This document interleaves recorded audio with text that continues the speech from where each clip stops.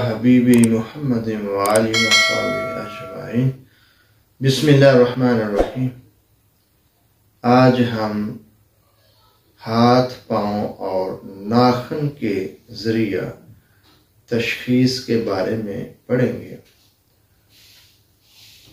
तो नाखन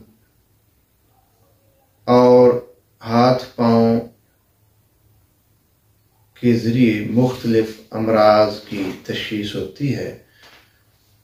तो अगर हाथ पाँव गर्म, हाथ पाँव की तलियाँ गर्म हों तो मैदा में सोजश, आंतरियों में सोजश और तजाबियत की अलामत है।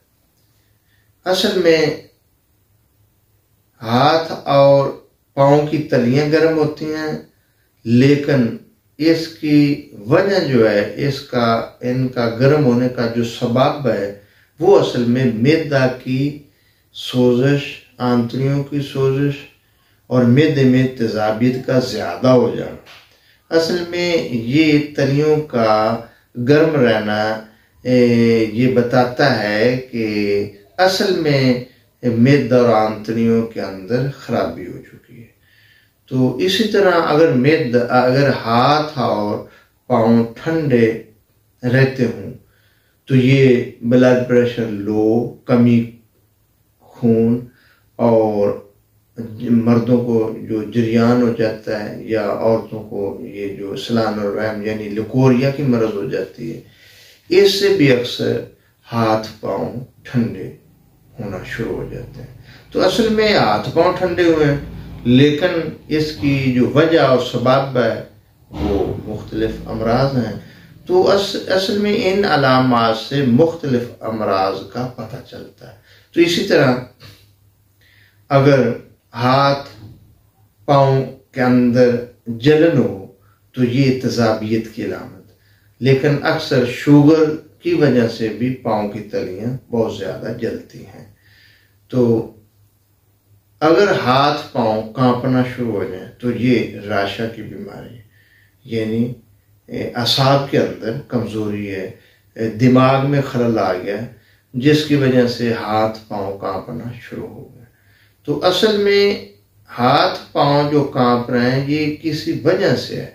तो उसकी वजह हमें मालूम करने के लिए ये अलामत हम नोट करते हैं कि हाथ पाँव काँप रहे हैं तो ये किस वजह से काँप रहे हैं? तो असल में जो बीमारी होती है, उसका पता चलता है और उसका इल्म होता है इन अलामत से। तो इसी तरह हाथ और नाखन अगर सफ़ेद हो जाए तो ये खून की कमी की अलामत अक्सर क्योंकि हाथ सुरख होते हैं या नाखन भी सुरख होते हैं अगर खून की कमी ना हो तो। अगर नाखन सफ़ेद हो जाए या हाथ सफ़ेद हो जाए तो साफ़ पता चलता है कि खून कम हो गया तो खून की कमी की वजह से हाथ पाँव सफ़ेद हो जाते तो इसी तरह अगर नाखन के अंदर सफ़ेद ये निशान पैदा हो जाए तो ये कैल्शियम की कमी के निशान है। कैल्शियम कम हो जाए तो हा, आ, आ, आ, जो नाखन है उनके अंदर सफ़ेद निशान ज़ाहिर हो जाते हैं। तो फिर इसी तरह अगर नाखन दरमियान में बैठ जाए, पिचक जाए तो ये कमी खून की अलामत है और जिगर में हरारत की कमी की अलामत है। जिसकी वजह से जिगर काम करना छोड़ देता है और खून काम बनता है। जिसकी वजह से हाथ और पाँव के नाखन बैठ जाते हैं या पिचक जाते हैं।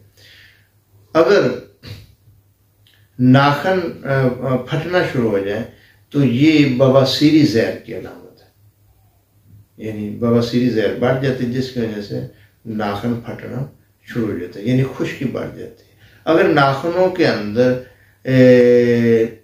लकीरें पैदा हो जाएँ स्याह रंग की, ब्रीक लकीरें नमूदार होने लगे तो ये सर्दी खुश्की की अलामत है। यानी सुदा बढ़ जाए तो सर्दी खुश्की बढ़ जाए तो नाखनों के अंदर स्याह रंग की लकीरें जहर होती हैं।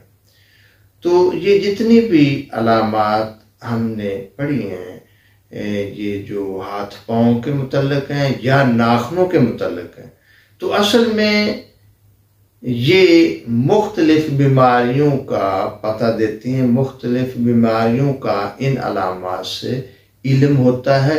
अगर तबीब को इन चीज़ों का इल्म होगा तो वो जब मरीज़ उसके सामने आएगा तो वो वो जिस तरह हमने पहले पढ़ा है, चेहरा के बारे में, आँखों के बारे में, नाक के बारे में इस जो अल्लाह ज़बान के बारे में।